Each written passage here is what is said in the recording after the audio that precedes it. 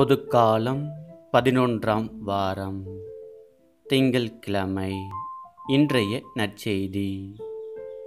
மத்தேயு நற்செய்தி அதிகாரம் ஐந்து வாழ்வுதரும் இறை வார்த்தைகள் முப்பத்தி எட்டிலிருந்து நாற்பத்தி இரண்டு முடிய.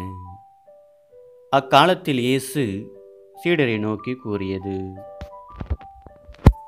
கண்ணுக்கு கண் பல்லுக்கு பல் என்று கூறப்பட்டிருப்பதை கேள்விப்பட்டிருக்கிறீர்கள். ஆனால் நான் உங்களுக்கு சொல்கிறேன் தீமை செய்பவரை எதிர்க்க வேண்டாம். மாறாக உங்களை வலக்கண்ணத்தில் அறைபவர்க்கு மறு கன்னத்தையும் திருப்பிக் காட்டுங்கள். ஒருவர் உங்களுக்கு எதிராக வழக்கு தொடுத்து உங்கள் அங்கியை எடுத்துக்கொள்ள விரும்பினால் உங்கள் மேலுடையையும் அவர் எடுத்துக்கொள்ள விட்டுவிடுங்கள்.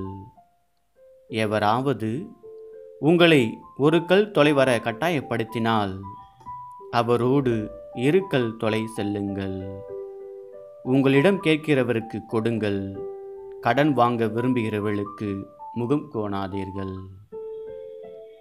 ஆண்டவரின் அருள்வாக்கு இறைவா உமக்கு நன்றி.